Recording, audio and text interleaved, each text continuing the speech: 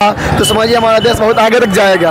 ये एकदम राइट दिखाया गया है, ऐसे होता है। इस इस भ्रष्टाचार को हटाना चाहिए क्योंकि इसमें देखिए, नेता जो कितने करप्ट होते हैं, इसको दिखाया गया है कि नेता करप्ट होते हैं, उसके घूस, दलाली, ये सब की वजह से किसान जो है इसमें आत्महत्या, हत्या किया, जैसे फ़िल्म में दिखाया गया। मतलब ये सब बहुत सारी चीज़ों को दिखाया गया कि अगर नेता सही हो जाए, नेता को हम अगर, जैसे कि शाहरुख खान ने कहा कि अपना उंगली का जो है सही इस्तेमाल कीजिए। तो हेलो दोस्तों, कैसे हो आप लोग? उम्मीद करता हूँ कि सब खैरियत से होंगे। तो फ़िलहाल आज आप रिव्यू देख चुके होंगे जो कि एस का जवान जो आया था तो लगभग मैं रिव्यू डाल चुका हूँ। और जो कि तीन से छः जो का शो चलने वाला, उसमें मैं खुद जाने वाला हूँ फ़िल्म देखने के लिए। और उसमें मैं अपना रिव्यू दूँगा। पहले आप यहाँ पर देख सकते हैं कि काफ़ी क्राउड है, क्योंकि ये तीन से छः शो चलने वाला है। और जो भी लोगों का ओपिनियन था, मैंने आपको दिखा चुका हूँ। और उसके बाद से खुद का जो ओपिनियन होगा, मेरे साथ जो भी जाएँगे उनका ओपिनियन जानने की कोशिश करेंगे। तो फ़िलहाल अभी चलते हैं अंदर। और यहाँ पर जो कि लाइन काफ़ी लंबी लगी हुई है, आप मेरे बैक साइड में देख सकते हैं। तो फ़िलहाल अंदर चलेंगे और अंदर को फ़िल्म को देखेंगे। उसके बाद से अपना ओपिनियन बताएँगे कि फ़िल्म कैसा लगा। आप देख चुके हैं कि लोगों का कैसा उस फ़िल्म के ऊपर ओपिनियन था। तो चलिए वीडियो में आप लोग कंटिन्यू बने रहिए। और मैं खुद देख कर आऊँगा क्योंकि बहुत से लोग बोलते हैं कि किसी का रिव्यू उठाकर डाल देते हैं आप किसी ऑर्डर का। तो ऐसी कोई बात नहीं है, मैं खुद देख कर आऊँगा उसके बाद फिर इस फ़िल्म का रिव्यू दूँगा कि इस फ़िल्म का दस नंबर में से मैं कितना नंबर देता हूँ और मेरे साथ जो भी देखेंगे, थोड़ा बहुत आजू बाजू में उन सबसे बात करने की कोशिश करेंगे।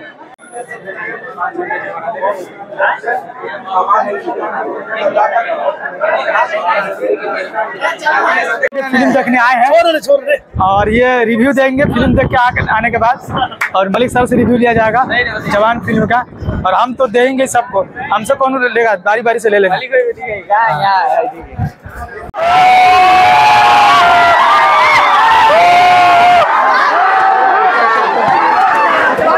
देख चुके हैं। जी फ़िल्म देख चुके यार कुछ फ़िल्म बारे में बताइए कुछ क्या हुआ कैसा हुआ? सबसे बड़ी बात यही है जो शाहरुख खान की जो फ़िल्म जवान है मतलब इसमें है ना जो भारत देश को दिखाया गया जो कि जो पॉलिटिकल पार्टी जो लोग जो जीत कर आते हैं सिस्टम मतलब मेन इस पर फोकस किया है सिस्टम पे कि सिस्टम कैसे काम करती है अपने देश में जो कि अगर नेता जो अगर सही चुन कर आए तो मेन इसका निचोड़ यही है कि अगर नेता जिसको हम चुन कर भेजते हैं अगर वो हमारे लिए सही काम करे तो देश में हर चीज़ करप्शन हो गया। और ये बताइए कि सुने कि मतलब बाप का है बेटा का है पुलिस का है मतलब रोल उनका गजब है। और जो इनका फ़िल्म का जो निचोड़ है ना मेन सिस्टम पे आधारित है।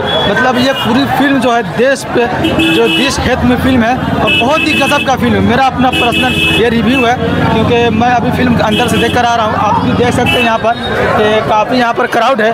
और मतलब जितने भी लोग फ़िल्म देखा है तो उनका सबका यही कहना है कि फ़िल्म जो बहुत ही गजब है जो कि जवान फ़िल्म और मेन जो फ़िल्म है अब मुझे लगता है कि पठान से अच्छी फ़िल्म साबित होगी। आइए कितना कमाई करेगी। ये पठान से अच्छी फ़िल्म साबित होगी। पठान में तो थोड़ा मतलब दूसरी जगह देखा और इसको आप 10 से कितना देना चाहते हैं? नंबर। मैं तो इसमें 10 से 10 से 10 नंबर देना चाहता हूँ एस के लिए क्योंकि एस का फ़िल्म उसके फ़ैन इतना मज़बूत है। और जो हॉल के अंदर का माहौल बताइए क्या हॉल के अंदर? उसका मत पूछिए। हॉल में तो सब अपनी झूम रहा था। बहुत ही मतलब अच्छा मतलब मोमेंट था अंदर का और लोग काफ़ी खुश देख रहे थे। और इस फ़िल्म को देखकर सभी के अंदर एक जुनून था। लास्ट में जो फ़िल्म से जो लास्ट का एक निचोड़ और पब्लिक रिएक्शन बताइए क्या पब्लिक रिएक्शन था अंदर? लास्ट गाना जो रमैया पब्लिक के अंदर बहुत खुश थी। मैं अंदर का भी आपसे कहूँगा कि आप अंदर का भी कुछ वीडियो वगैरह अगर लिए तो आप दिखा सकते हैं। तो पब्लिक जैसे अंदर झूम रही थी कि कैसे फ़िल्म को देख रही थी। चलिए बहुत फ़िल्म देख कर आए जवान फ़िल्म आपको कैसा फ़िल्म लगा? हमको हम फ़िल्म के बारे में कुछ छोटा मोटा बात बताना चाहते हैं कि यह फ़िल्म समझिए कि ये देश पे ही आधारित है। जैसे कि देश में क्या हालात चल रहा है कैसे चल रहा है क्या नेता लोग कैसे करता है क्या कोई करता है वही देश पर आधारित फ़िल्म है। और जैसा कि ये बहुत सारे करप्शन को बताया गया है कि कौन क्या करता है बहुत सारे झूठ को यहाँ सच बताया गया है। जैसे कि मैं भी फ़िल्म देख चुका हूँ तो मैं अपना रिव्यू बता चुका हूँ। जैसे कि मैंने देखा कि मेरा जो मेन इसमें फोकस था मैं जैसा जहाँ तक देखा हूँ कि सिस्टम अगर बदल जाए जैसे पॉलिटिशियन लोग पे फोकस किया गया है। तो उसको आप किस नज़र से देखते हैं कि सिस्टम अगर सुधर जाए जिसको हमने चुनकर अपना विधानसभा लोकसभा भेजते हैं तो अगर वो सही चला जाए ईमानदार हो जाए तो हमारा देश जो है खुशहाल हो सकता है। यदि जैसे इस फ़िल्म में दिखाया गया है वैसे आने वाले फ्यूचर में हुआ तो समझिए हमारा देश बहुत आगे तक जाएगा। ये एकदम राइट दिखाया गया है ऐसे होता है। इस इस भ्रष्टाचार को हटाना चाहिए क्योंकि इसमें देखिए नेता जो कितने करप्ट होते हैं इसको दिखाया गया है कि नेता करप्ट होते हैं उसके घूस दलाली ये सब की वजह से किसान जो है इसमें आत्महत्या हत्या किया जैसे फ़िल्म में दिखाया गया। मतलब ये सब बहुत सारी चीज़ों को दिखाया गया कि अगर नेता सही हो जाए नेता को हम अगर जैसे कि शाहरुख खान ने कहा कि अपना उंगली का जो है सही इस्तेमाल कीजिए। तो इससे आप क्या समझते हैं? यदि हमारे देश के लोग अपनी उंगली का सही इस्तेमाल करने लगे तो भविष्य में हमारे बहुत सारे आगे बढ़ जाएँगे।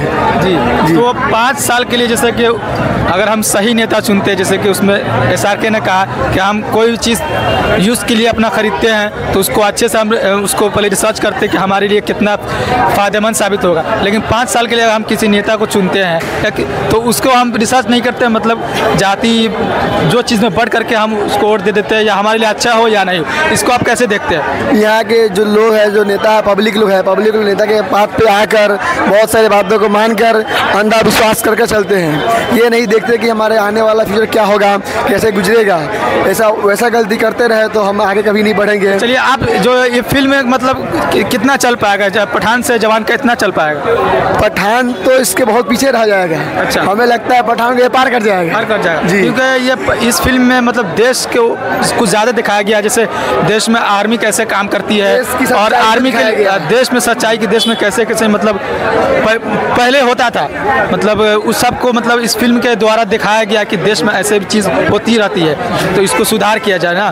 तो आप इस फ़िल्म को 10 नंबर में से कितना रेटिंग देना चाहते हैं हम तो दस में दस देना चाहते हैं पर लास्ट में एक बार ज़रूर बोलना चाहते हैं कि हमें ना चाँद चाहिए ना सूरज चाहिए। हमें तो सिर्फ़ शाहरुख खान चाहिए। वाह भाई लगता है शाहरुख खान के बहुत बड़े फ़ैन है। तो जैसे कि आप देख सकते हैं कि मैं अभी रिव्यू ले चुका हूँ और यहाँ पर काफ़ी लोग मौजूद है और सभी से बारी बारी से जैसे कि मैंने रिव्यू बताया और एक और जो पहले वाला जो मॉर्निंग का जो जो शो था उसका भी मैं रिव्यू डाल चुका हूँ और ये इवनिंग का शो का जो रिव्यू तो चलिए उम्मीद करता हूँ कि ये वीडियो आपको अच्छा लगा होगा।